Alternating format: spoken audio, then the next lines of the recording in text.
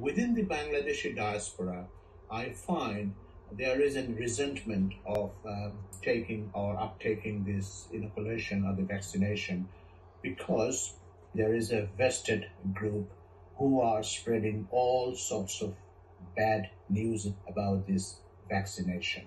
What happens is that uh, for a community, especially like mine, the Bangladeshi community, bear in mind, majority of people really, uh, you're looking at the first generation who has migrated here within the last 20, 30 years, they hardly speak English.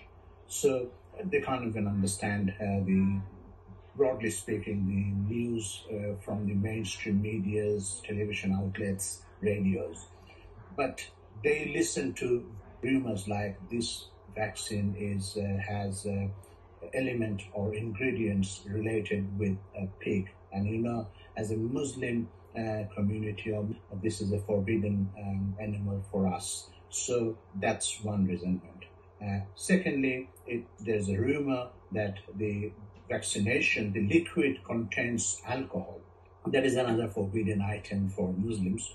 But as far as i know my knowledge of islam is concerned um, medicinal purposes, uh, alcohol is acceptable.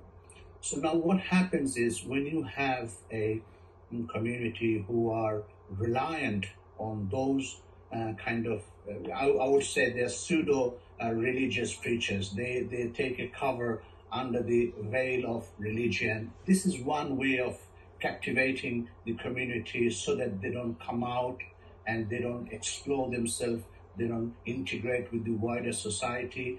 So that is the problem, which perhaps mm, is hindering the uptake uh, of uh, the vaccination. You've now produced a leaflet which has been both English and in the Bengali language. How have language and cultural barriers played a part in making people more anxious about the safety of the vaccine? that is a big question I, am I'm, I'm facing at the moment. It is difficult for uh, people to understand the normal English uh, language to understand the vaccination. So I just decided that from my charity, I will come up with a leaflet. We'll have English, and at the bottom, we'll have the Bengali translations. And on top of it, what we have done I have a friend, very senior friend of mine, Dr. Rashid Gatrad. He is a, a consultant physician in Manor Hospital of West Midland. So I requested him to write an article for me uh, in English. He's a Muslim and he took the uh, vaccination and he explained he didn't have any side effects and he has certified that it is safe and it hasn't got any, any pig or any alcoholic substances in it. I have translated his English article into Bengali. Uh, I have printed the leaflets uh, and I need to go to these various shops and cash and carries within Northamptonshire to give one of the leaflets to them for them to take it home.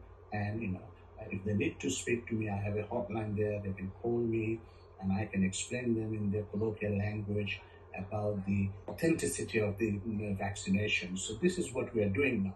How many have changed their mind having looked at the leaflet and have taken or are willing now to take the vaccine? When I did the, um, the first leaflet run and I gave it to about 16, 17 people, I have convinced uh, six, seven of them and uh, they agreed and they promised that they will go and take it